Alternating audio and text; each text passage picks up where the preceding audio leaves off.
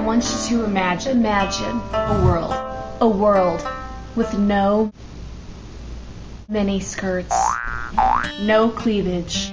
Excuse me, come again? No cleavage and no low-rise jeans. That would be insane!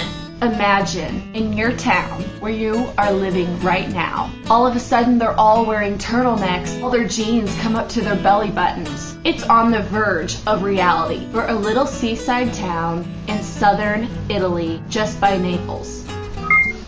If you are a woman or a transvestite crossdresser who is wearing a mini skirt, a low cut shirt, or low rise jeans, then you will be fined anywhere from $35 to $700. Excuse me, come again? You're probably thinking, what kind of crazy town would put a hex on miniskirts, low-rise jeans, and cleavage? It's the mayor, and his name is Luigi Bobbio.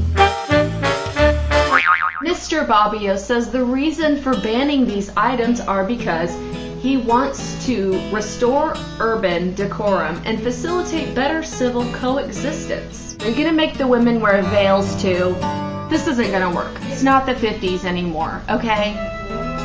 For me, in my high school, I could pretty much wear almost anything. They said they wanted our shorts to come to our fingertips, you know, when you put your arms down to the sides. So here we are in 2010, and this guy wants to ban mini skirts, low rise jeans, and cleavage?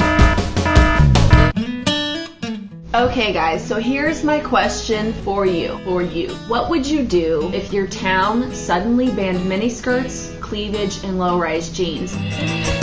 Would you start an uprising, cause a riot? Let me know in the comments section A little too much crack? below. Okay, thanks for watching guys.